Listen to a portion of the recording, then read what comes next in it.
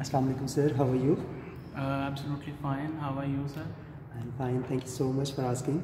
Uh, can you please introduce yourself? Yeah, sure. Why not? My name is uh, Saad Yaqoob and I am Bachelor of Business Administration in Finance. Uh, I work here from since uh, 2019 December. Okay. Go ahead. Great, great. How can I get qualified for a loan through your financial services? Uh, first of all, we are not providing financial services. We are providing a product, and the product is a motorcycle, which uh, you can get through our com- by completed our uh, formalities. So first of all, uh, the requirement of purchasing a bikes on lease, that is uh, one or two guarantors and uh, a check uh, and a minimum advance that required from us. So you can get a bike. Interesting. Ah yes. So, how do I know when to have my motorcycle service since you have a very large setup here for the service? In our area or um, in our organizations that we deal, uh, we have developed a system which may which may you get uh, which you get a message after one month that your bike is uh, about to service. So that is why you come to know uh, to um, have a service of your bike. Right, sure. What does services usually cost, like in terms of? Uh, normally, we uh, the service cost is 250 rupees normally, and but it depends on work.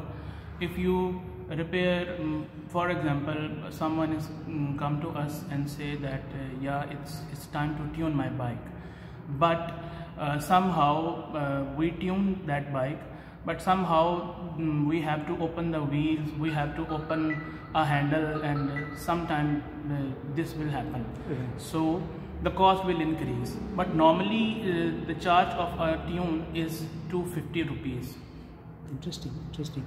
So, um, how do I get the most item out of motorcycles oil, engine oil? Because you know you have to change it on Uh, interval basis. That's very important questions uh, because uh, before we deliver the bike, we totally facilitate the customer that first of all you have to use the engine genuine oil. ठीक है? That you have to purchase the Honda authorized dealership which you can get from there or from us. So the you if you want to get most of your engine oil then you have to purchase the original oil engine oil Atlas Honda engine oil. Great, great. Should I uh, should you service motorcycle suspension as well?